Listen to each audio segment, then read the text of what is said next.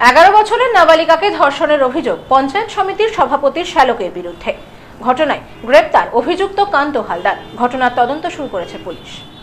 নাবালিকাকে ধর্ষণের অভিযোগ উঠল পঞ্চায়েত সমিতির সভাপতির শ্যালকের বিরুদ্ধে। ঘটনাটি ঘটেছে নদিয়ার কৃষ্ণগঞ্জ থানার ভাজনঘাট এলাকায়। তৃণমূলের পঞ্চায়েত সমিতির সভাপতির শ্যালককে গ্রেপ্তার করেছে পুলিশ। জানা গিয়েছে, গত চব্বিশ তারিখ ভাজনঘাট ব্রিজের কাছে ছাগল চড়াতে যায় ওই নাবালিকা। অভিযোগ সেই সময় অভিযুক্ত ব্যক্তি ধারালো অস্ত্রের ভয় দেখিয়ে নাবালিকাকে জঙ্গলে টেনে নিয়ে যায়। তাকে জোর করে ধর্ষণ করে বলে অভিযোগ। ঘটনা মেয়েটা ছাগল করা মাঠে ছাড়তে যায়। এবার ওনাকে পিড়ায় এরম ধরা ওরা খেলা করে মাঠে ছেড়ে দিয়ে পেছন দিক থেকে গিয়ে মুখ চেপে ধরে নিয়ে চলে যায় গামছা মুখে দিয়ে। দিয়ে এরম ধরা অত্যাচার করে নাকি। কে করে এটা? কান্ত হালদার। ঘটনার কথা কাউকে বললে প্রাণে মেরে ফেলার ভয় দেখায় অভিযুক্ত।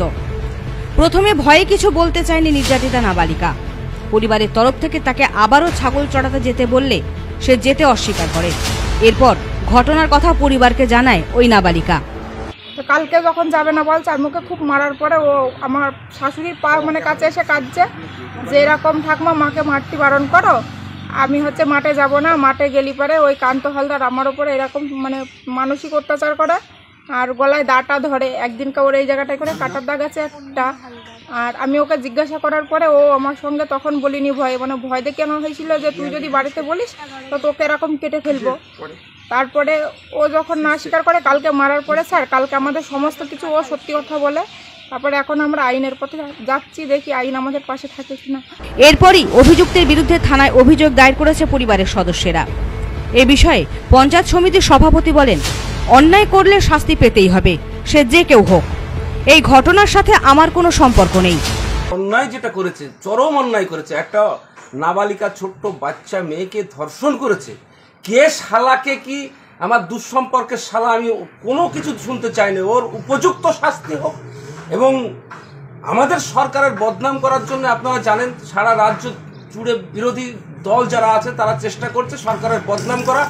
আর প্রকৃতপক্ষে ওরা বিজেপি ওর একটা ভাগ ভাগ্নে গত আঠারো সালে আমার সাথে বিজেপির কন্টেস্টিং ক্যান্ডিডেট ছিল। অতএব তাদের সাথে আমার কোনো সম্পর্ক থাকার কথা না সম্পর্কও নেই। এ বিষয়ে নদিয়া দক্ষিণ বিজেপি সাংগঠনিক জেলার মহিলা মোর্চা সম্পাদিকা বলেন নিন্দনীয় ঘটনা। অভিযুক্তের উপযুক্ত শাস্তি হওয়া উচিত। মেয়েটা গেছে ছাগল চড়াতে আমাদের গ্রাম এলাকা তো ভাজনঘাট ব্রিজ পাড়ায় ব্রিজের ওই সাইডে যে বাগানগুলো আছে ওখানে গেছে ছাগল চড়াতে ছাগল চড়াতে গেলে এই ভদ্রলোক কান্ত হালদার, উনি মুখে গামছা দিয়ে পেছন পেছন দিক থেকে উনি নিয়ে গেছে ঝোলের মধ্যে আমরাতলার ওই সাইডে দেওয়ার পর সেদিন বাড়ি চলে এসছে। কালকে যখন বলেছে ওর মা যে, ছাগল চড়াতে যা, ওরা তখন ভয় আর যাচ্ছে না। ভয় দেখিয়েছে, বাড়ি গিয়ে বললে, পারে মেরে ফেলব, এই করব এই করব। যেটা স্বাভাবিক এখনকার দিনে হয়ে আসছে।